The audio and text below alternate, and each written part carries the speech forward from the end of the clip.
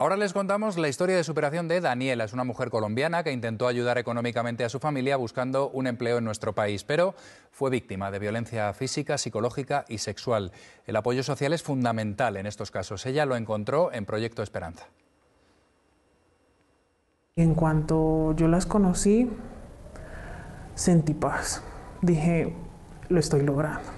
Eso pensó al hablar con los profesionales del proyecto tras pasar cinco meses ejerciendo de manera forzada la prostitución. ¿Será que voy a poder ser normal?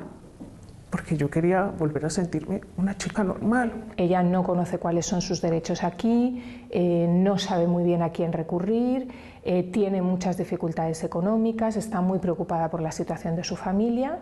Esta entidad especializada ha ofrecido apoyo integral a Daniela y a más de 1.900 víctimas de trata, mujeres que han sufrido una vulneración de derechos y un atentado a su dignidad. Lo que han vivido tiene mucho estigma y se sienten señaladas.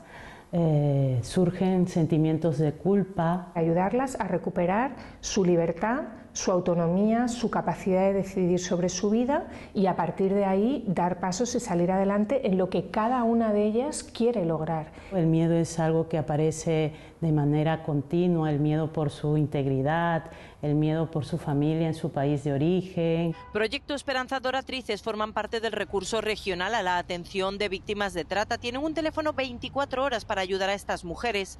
La trata es un delito grave que vulnera los derechos humanos. Cada año existen 2.500.000 víctimas en el mundo, aunque se calcula que solo se identifica una de cada 20. Saqué fuerzas de donde no sabía que tenía.